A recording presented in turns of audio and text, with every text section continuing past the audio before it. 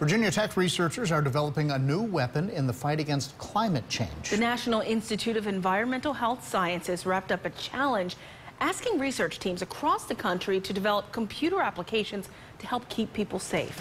WSLS 10's Bethany Teague has the story behind Virginia Tech's First Place app.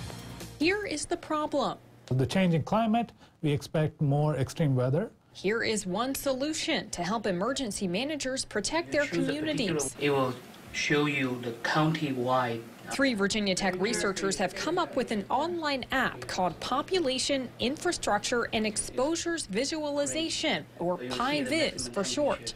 It can be used by many uh, different kinds of people. Users can click on any lower 48 state in the U.S. and any county in that state.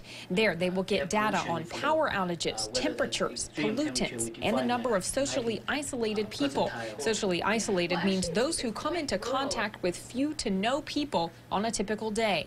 What if there is a big power outage at the height of summer in this particular region?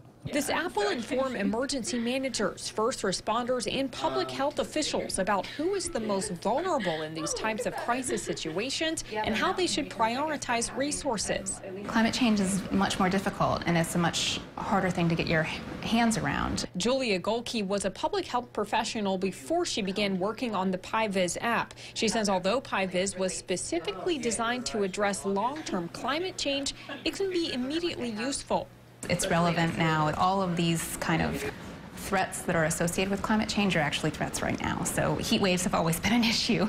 All the app's data can be downloaded for free. Plans are in the works to expand and update PIVIZ as populations change and emergencies strike. In Blacksburg, Bethany Teague, WSLS 10.